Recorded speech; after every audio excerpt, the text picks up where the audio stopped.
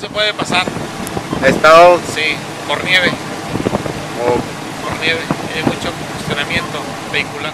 La segunda nevada del año y tercera de la temporada invernal se registró ayer en La Rumorosa, lo que cubrió de blanco el poblado, sin que hubiera incidentes. Desde las 4.25 horas, autoridades estatales informaron de la nevada que duró hasta las 14 horas y originó que cayera alrededor de 4 pulgadas de nieve. Aquí estamos en el área de La Rumorosa, está la nevada todo lo que da, ahí voy a quitar tantito así. Desde las 4.45 de la mañana empezó la nevada, 4.25, una nevada constante, plumeado, muy bonito, nunca había visto este paisaje. Padre, vamos a ver qué más hay para, para enfrente.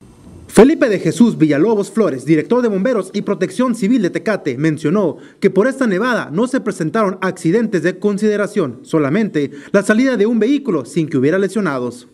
El poblado lucía tranquilo durante la nevada, sobre todo porque a las 9 horas la Policía Federal ordenó también el cierre vehicular en la ruta de ascenso a la Rumorosa.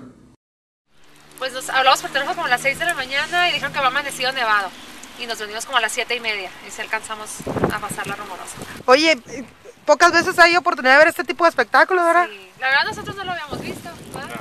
¿No, ¿No les había tocado no, nunca? No nos había tocado. ¿De dónde son ustedes? De.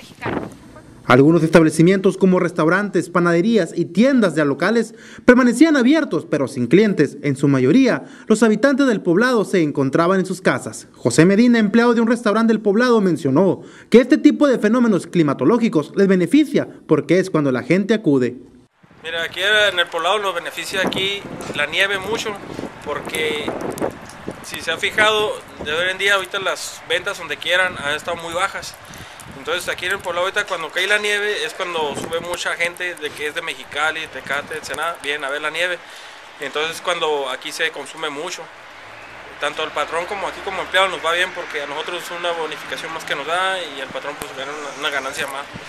Ayer, en el área de la Rumorosa, en el kilómetro 40 de ascenso, se reportó un derrumbe, el cual mantuvo por una hora bloqueado uno de los carriles de circulación. A las 14.30 horas, el paso a la Rumorosa fue abierto de nueva cuenta y así continuaba hasta el cierre de la edición sin que se reportaran incidentes. ¿Quiénes vinieron, oiga? Eh, toda la familia, los familiares, familiares. Oiga, aprovechando que era el Día de la Familia, ¿no? Así es, trajimos a la familia hoy, hoy, hoy en su día. Oiga, ¿y de aquí a dónde van a ir? Nos vamos a estar un rato aquí a ver si podemos entrar al Museo Alaska. Ah, Ahí hay, hay más, nieve, más nieve.